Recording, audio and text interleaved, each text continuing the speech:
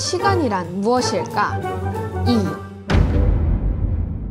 2. 미시계와 거시계의 중간쯤 어딘가부터 시간이라는 이름의 무지의 강이 흐른다고 했는데 막상 가서 보니 강은 흐르지 않고 있었다.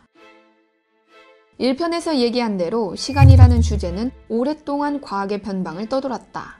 그것을 과학적으로 다루기 곤란했기 때문이다. 하지만 20세기 과학의 패러다임을 송두리째 바꾼 두 번의 혁명은 시간에 대한 인간의 관념도 혁명적으로 바꿨다. 여기서는 각각 상대성 혁명과 양자 혁명이라 부르겠다. 상대성 혁명. 미국의 과학자 리처드 뮬러는 이렇게 말했다.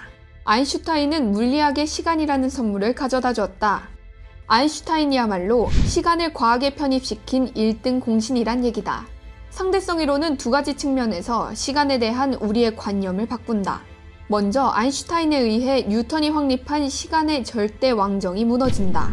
그 전까지 뉴턴의 절대 시간은 아무도 의심하지 않는 암묵적 상식이었다.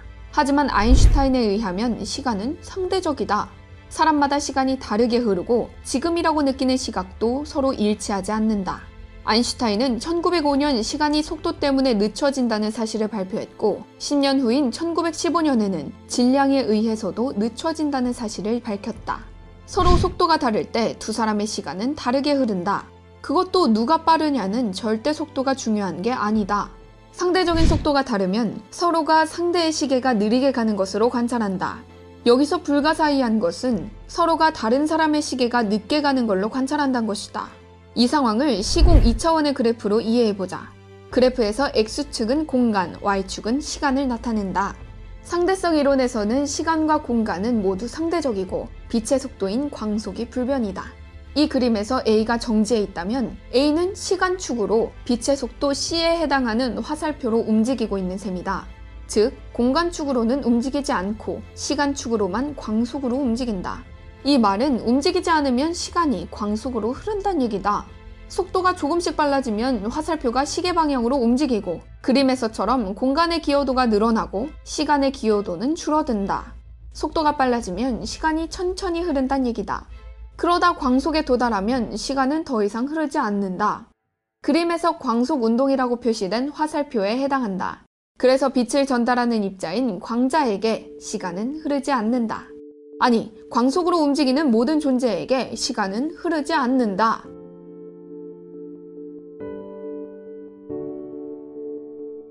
A에 대해 상대적으로 등속 운동하는 B는 공간상으로도 움직이고 있기 때문에 화살표가 기울어져서 그림처럼 된다. 그렇다면 A가 관찰한 B의 시계는 A의 시계보다 느리게 간다. 그림에서 소문자 B에 해당하는 길이가 A가 바라본 B의 시간이다.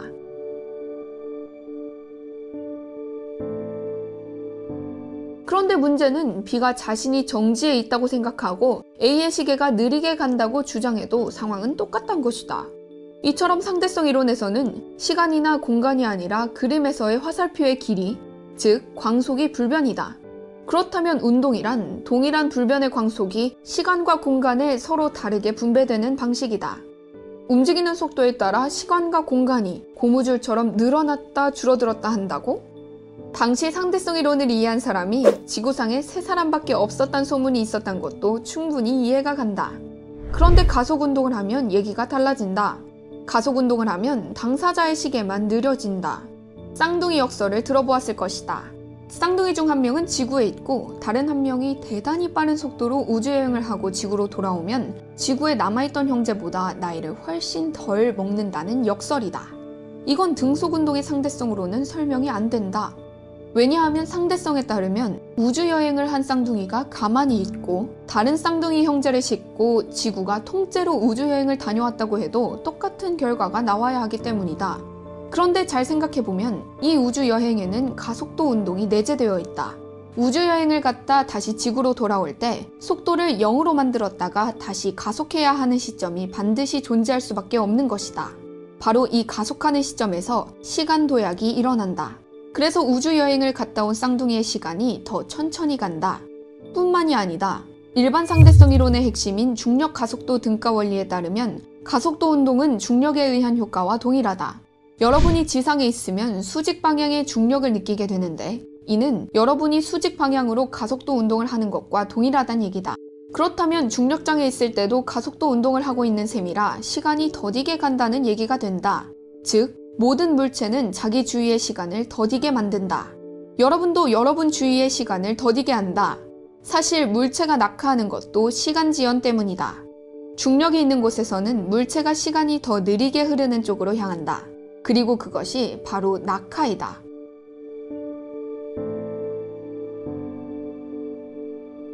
두 번째로 상대성 이론은 시간으로부터 절대성뿐만 아니라 독립성도 박탈한다. 시간은 더 이상 독립적인 존재가 아니다. 무슨 말이냐고? 아마도 여러분은 시공 4차원이라는 말을 들어봤을 것이다. 이는 공간과 시간이 4차원 시공으로 얽혀 있다는 것을 의미한다. 시간은 별도로 존재하는 게 아니라 공간과 불가분의 관계로 얽혀 복잡한 기하학의 일부로 편입된다. 우리는 4차원을 머릿속에 그릴 수 없기 때문에 이 기하학은 보통 고무판에 비유된다. 그림에서처럼 2차원 고무판을 시공간이라고 하자. 무거운 물체가 놓이면 그림에서처럼 시공이 휜다. 시공이 휘면 시공의 길이가 아래쪽으로 쭉 늘어난다. 그림에서 시간과 공간의 길이를 모는 종이로 표현했다. 평평한 공간일 때는 눈금의 간격이 균일하지만 물체가 놓이면 아래로 잡아당겨지면서 그 간격이 길어진다. 그래서 곡률이 서로 다른 모든 지점에서 시계는 서로 다른 속도로 움직인다. 방금 전의 낙하 운동도 이 그림을 보면 직관적으로 이해할 수 있다. 그림에서처럼 휘어져 있는 공간의 주변에 있는 물체는 그 휘어진 면을 따라 아래쪽으로 떨어진다. 이것이 우리가 중력이라 부르는 힘이고 중력은 눈금 간격이 긴, 즉 시간이 느리게 흐르는 쪽으로 향한다. 이런 식으로 생각하면 블랙홀이란 4차원 시공이 너무 심하게 휘어서 사건의 지평선 내의 모든 것의 미래가 그 내부 공간 안에 가둬진 상태를 말한다. 인터스텔라를 보면 블랙홀 근처에 있다가 귀환한 주인공은 자신의 딸보다도 나이를 적게 먹는다. 블랙홀의 강력한 중력으로 시간이 엄청나게 천천히 흘렀기 때문이다. 아까 쌍둥이 역설에서 우주여행을 갔다가 돌아온 쌍둥이가 경험했을 가속도 운동은 블랙홀 근처를 여행했다가 왔다고 생각해도 동일한 것이다. 그리고 이것이 아인슈타인이 내 인생의 가장 행복한 생각이라고 불렀던 등가 원리다. 아인슈타인은 상대성 이론을 알기 쉽게 한마디로 설명해달라는 부탁에 다음과 같이 대답했다고 한다. 우주에서 모든 사물이 사라져도 시간과 공간은 남으리라는 것이 예전 사람들의 생각이었다. 하지만 상대성 이론에 따르면 그럴 경우 사물과 함께 시간과 공간도 사라진다. 상대성 이론에 의해 절대성과 독립성을 가진 시간은 완전히 사라졌다. 시간은 속도와 질량에 따라 다른 속도로 흐른다. 게다가 시간은 독립적으로 존재할 수 없고 공간과 교직해서 복잡한 시공의 무늬를 만들어낸다. 여러분의 시계를 맞출 절대 시계도 없고 우리 모두가 현재라고 동의할 수 있는 시각도 없다. 게다가 상대성 이론에서는 중력장이 곧 시공이다. 물질 또는 에너지의 존재가 시간과 공간의 존재와 불가분의 관계라는 말이다. 이를 위대한 물리학자 존 휠러는 다음과 같이 표현했다. Space-time tells matter how to move. Tells space-time how to curve. 시공간은 물질이 어떻게 움직이는지를 말해주고 물질은 시공간이 어떻게 휠지를 말해준다. 양자혁명. 상대성 이론의 바로 뒤이어 양자역학이 확립된다. 양자역학 혁명의 출발은 양자라는 말 속에 들어있다. 양자는 크기가 있는 입자라는 뜻이다. 그게 뭐가 됐순데? 라고 묻겠지만 요는 전혀 입자처럼 보이지 않는 것이 입자라는 데 있다. 여러분 주위의 사물이 양자로 되어 있다고 하면 수긍이 간다. 그런데 에너지가 양자로 되어 있다고 하면 어? 그래? 하고 놀란다. 그리고 빛이 양자로 되어 있다고 하면 빛이 알갱이라고? 그럴 리가 하며 더 놀란다. 심지어 지금 우리는 시간과 공간도 모두 양자라고 얘기하려고 한다. 시간과 공간이 알갱이라고? 하지만 이미 12세기에 마이모니데스라는 철학자는 시간은 원자로 구성된다 라고 말했다고 한다. 무엇이든 무한히 자를 수 있다고 했을 때 직면하게 되는 역설을 피하기 위해서였을까? 하지만 더 이상 나눌 수 없는 무엇을 상상하기도 불가능하기는 마찬가지다. 그런데 현재 양자역학은 시간이나 공간도 무한히 나눌 수 없는 그 무엇이라고 얘기한다. 이른바 플랑크 시간과 플랑크 길이다. 신은 이를테면 인상파 화가다. 세상을 그릴 때 대상뿐만 아니라 그 배경마저 연속적인 선으로 그리지 않았다. 작은 점을 찍어 그렸다. 그래서 모든 것은 알갱이다. 그런데 만일 시공이 양자라면 이는 양자역학의 두 번째 특징인 불확정성의 지배를 받게 된다. 시공이란 불확정성으로 인해 파동처럼 끝없이 요동치며 무언가와 상호작용할 때까지는 결정된 값을 가질 수 없는 양자적 존재다. 그리고 미시적으로는 이처럼 불연속적이고 확률적인 시공간이 큰 공간 규모에서 매끄러운 시공간처럼 나타난다. 그래서 이러한 양자의 세계에서는 시간의 실체도 모호해진다. 시간과 에너지도 불확정성의 지배를 받고 그러면 심지어 시간이 국소적으로는 거꾸로 흐르기도 한다. 병원에 가면 양전자 방출 컴퓨터 단층 촬영기, 우리가 보통 PET라고 부르는 기계가 있다. 전자와는 반대로 플러스의 전하를 가진 양전자를 이용하는 장치인데 리처드 파인만에 따르면 양전자는 시간을 거꾸로 이동하는 전자라고 할 수 있다. 얘네들은 과거에서 현재에 도착하는 게 아니라 터미네이터처럼 미래에서 온다. PET 기계 속에 들어가면 우리는 미래에서 온 존재와 조우하게 된다. 일단 우리는 상대성 이론과 양자역학이라는 걸출한 두 가지 원리만을 가지고 우주적 시계를 만들 수 있다. 위대한 수학자 로저 펜로즈는 이를 자연에 실제로 존재하는 극도로 정밀한 시계라고 표현했다. 이 시계는 생각만으로도 만들 수 있으니 여러분도 함께 동참해보자. 재료는 딱 두 가지다. 먼저 여러분이 다 아는 상대성 이론에서 유도되는 유명한 식이 있다. E는 mc square. 여기서 E는 에너지, m은 질량, c는 광속을 나타낸다. 그리고 여러분이 잘 모를 수도 있는 양자역학에서 유도되는 기본식이 두 번째 재료다. E는 h뉴. 여기서 h는 플랑크 상수 6.625 곱하기 10의 마이너스 34제곱미터 제곱 킬로그램 per sec. 뉴는 진동수다. 자, 이제 이 두 개의 식을 에너지 E로 연결해보자. E는 mc square 는 h뉴. 이를 진동수 뉴로 나타내는 식으로 정리하면 이렇다. 뉴는 h분의 mc square. 끝! 이 식 자체가 바로 우주적 시계다. 이 식은 입자들의 고유한 진동수를 나타내는데 규칙적으로 진동하는 모든 것은 시계가 될 수 있기 때문이다. 그렇다면 이 식은 질량 m을 가진 입자들은 아주 정확한 양자 시계처럼 행동한다는 뜻이 된다.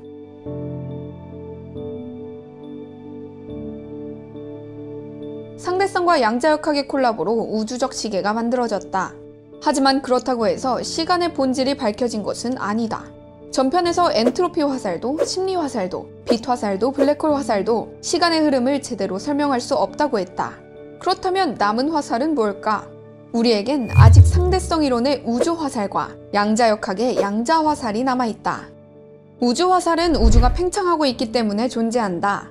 1편에서 인류 원리로는 날 수 없던 우주 화살이 상대성 이론으로 다시 한번 시위가 당겨진다.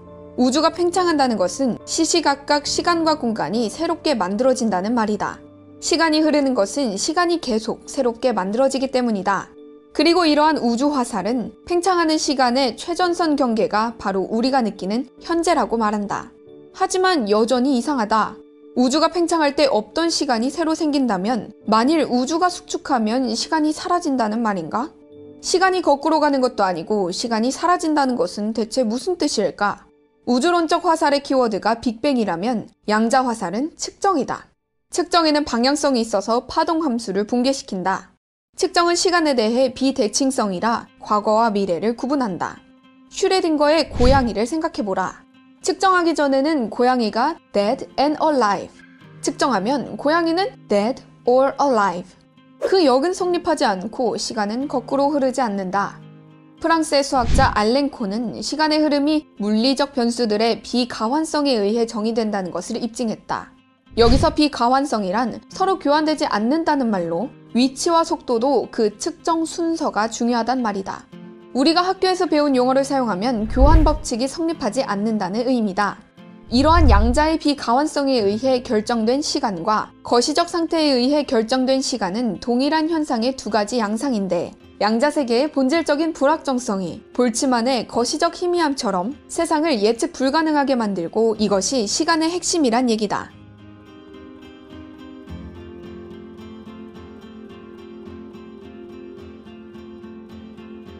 미시계의 양자 화살이 거시계로 날아가면 엔트로피 화살이 된다.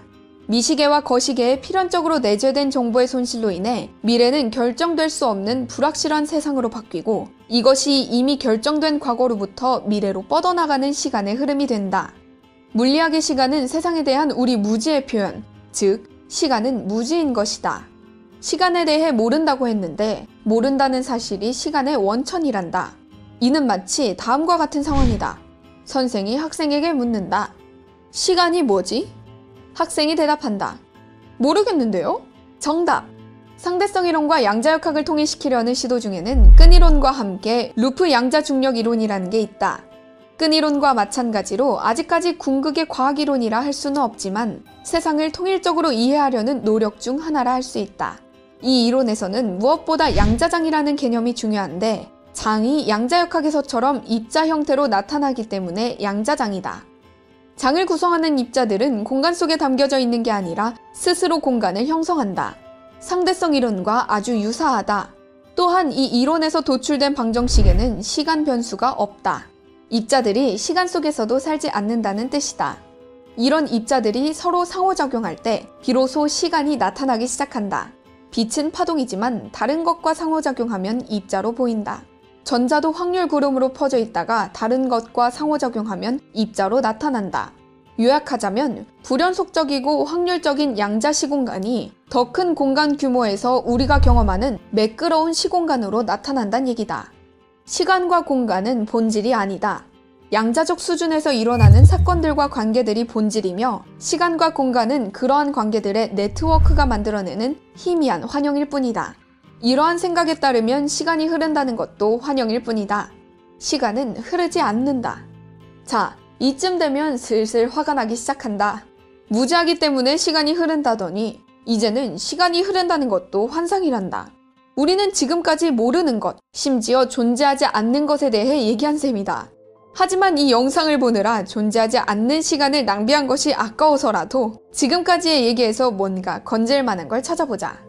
상대성 이론은 시간에게서 절대성과 독립성을 빼앗았다. 시간은 공간과 분리해서 생각할 수 없고 시공도 물질과 분리해서 생각할 수 없다. 상대성 이론에서 도출되는 우주 화살은 우주가 팽창하면서 시공이 새로 생기고 따라서 시간이 흐르고 새로운 현재가 계속 만들어진다고 한다. 양자역학에 따르면 시간은 불연속적인 양자고 따라서 불확정적이고 확률적이다. 그래서 시간이 심지어 거꾸로 흐르기도 한다. 양자역학에 의한 양자화살은 측정에 의한 것이고 양자역학의 불확정성이 거시기의 흐릿함으로 연결되어 여기로부터 시간의 흐름이 생긴다. 양자화살이 거시기로 날아가면 연력학적 화살이 되고 이는 우리 모두의 무지의 소산이다. 아직은 가설이지만 루프 양자 중력 이론에 따르면 본질적 수준에서는 시간의 화살 자체가 존재하지 않는다. 시간은 실체가 아니고 미시계가 거시기에 던지는 흐릿한 환영일 뿐이다. 시간은 흐르지 않는다. 자, 그래서 결국 시간이란 무엇인가? 시간은 인간의 무지이며 환상이다. 알렌 콘이 두 친구와 함께 쓴 짧은 공상과학 소설에는 다음과 같은 구절이 있다고 한다. 나는 양자 무대에서 생성된 무한한 정보를 모두 잃는 것 같은 느낌이 들었고, 이 정보의 상실만으로도 시간의 강 속으로 속수무채 끌려 들어갈 수밖에 없었다.